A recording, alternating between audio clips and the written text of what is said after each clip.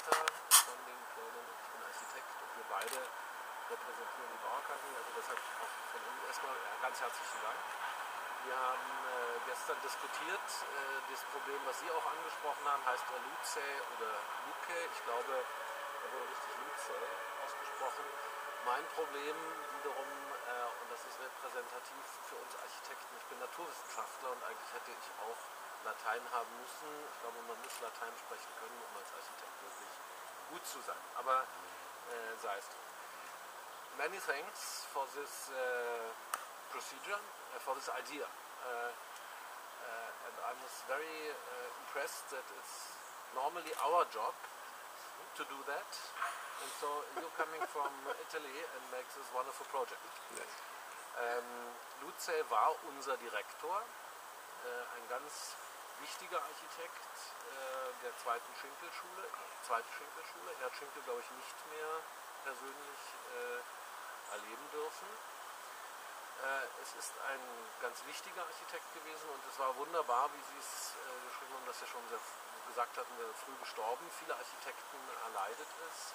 Viele Architekten vollenden ihr Werk nicht. Es hat ihn auch getroffen. Sie waren eben gerade noch bei Alfred Messel, auch ein großer Architekt der Bauakademie, Mitglieder, auch früh verstorben.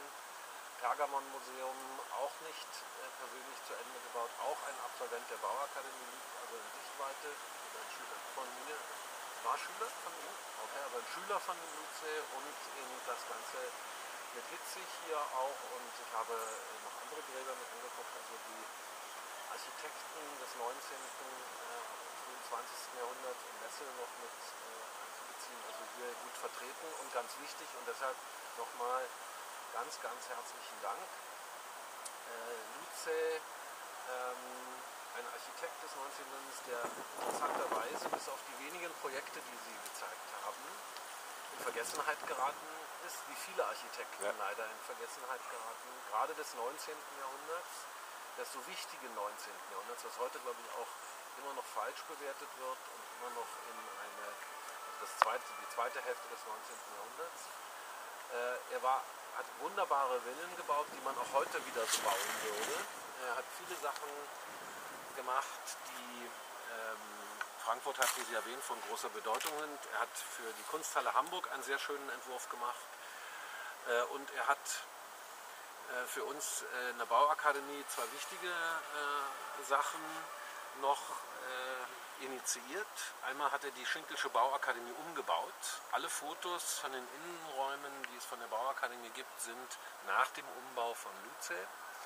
Er hat also sich damals nicht gescheut und heute hätte man, glaube ich, da größeren Respekt davor, ein, ein Inkunabel der Architektur grundsätzlich zu verändern. Er hat ein neues Treppenhaus angebaut, hat die Innendekorationen verändert. Insofern begegnet uns Luce immer täglich in unserer Arbeit bei dem Wieder, also bei dem Aufbau der Bauakademie, auf welche Ebene man sich bezieht, auf die Fotografien von Luce oder auf die Pläne von Schinkel. Sehr spannende Aufgabe.